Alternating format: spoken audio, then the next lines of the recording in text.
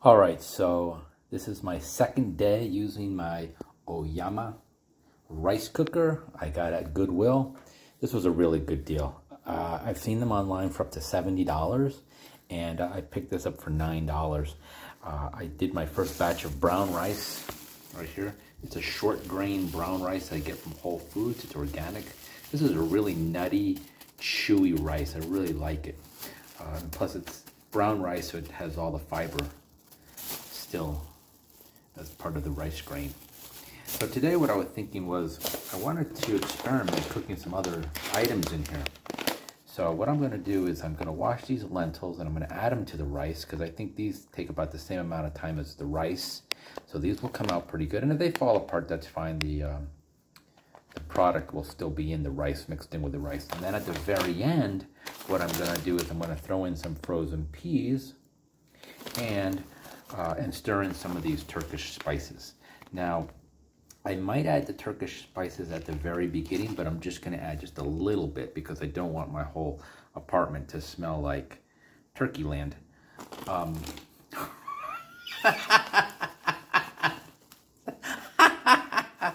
Turkey land.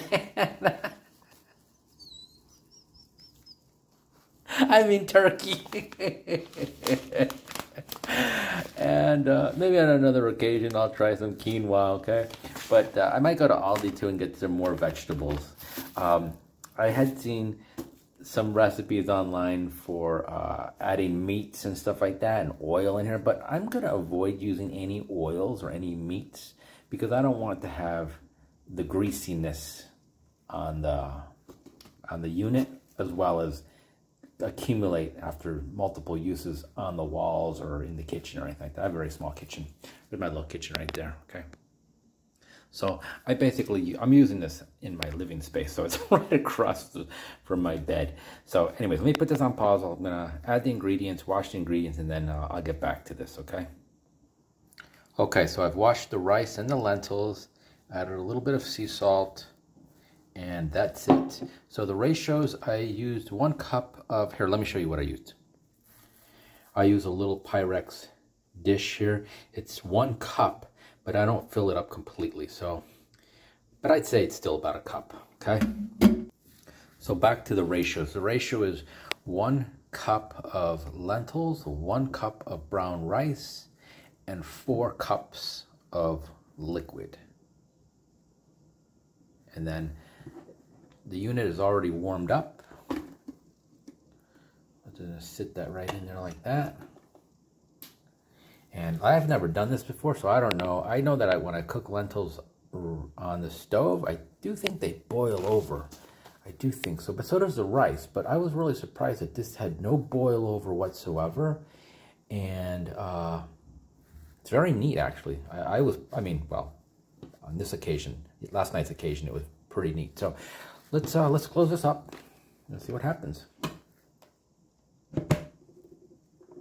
Make sure that's locked. Okay, that's locked, and we'll go. It'll go from warm, which is it. It as soon as you plug it in, it automatically sits on warm. You don't even have to hit a button, which I didn't notice. Which is, I'm glad I noticed that because I wouldn't want to leave that on by accident.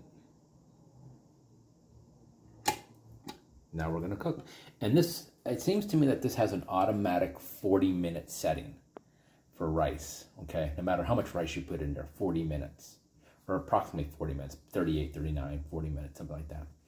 Um, I guess I could time it today. So I'll be back later, okay? Okay, so the timer just went off, and the timer I set on my phone pretty much correlates with the settings of this pressure cooker or pardon me, the rice cooker. So it's 40 minutes, I would say, 40 minute setting. Uh, it's now switched over to warm and the steam has stopped coming out or you might still see the stream of steam coming up a little bit here. So we're going to open this up. Remember, always be careful when opening up anything with steam. Keep your hands, arms, especially the lower arms, away from the steam. There goes the steam. Oh my word.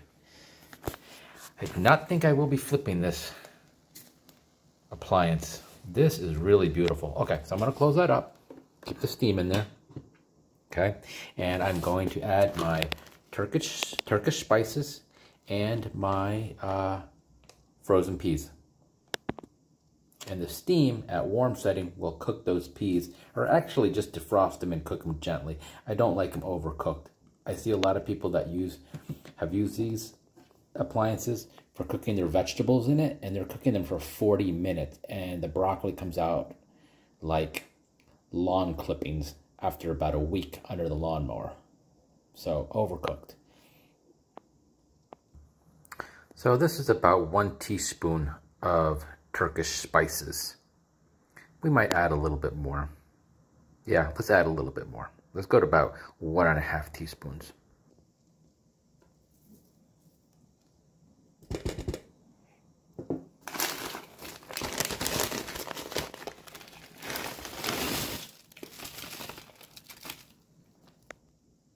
So it did stick a little on the bottom. I just noticed that as I stirred the other ingredients around. So I'm going to add about a quarter cup of water. Okay. So this is my brown rice and lentils with peas and Turkish spices. I made this in the uh, rice cooker and this is really, really incredible. I, it's not perfect, but I don't like perfection kind of like things that kind of leave you to, they're just about perfect. And this is just about perfect. Um, the rice is chewy and nutty, just the way I like it, not overcooked. And it's separate.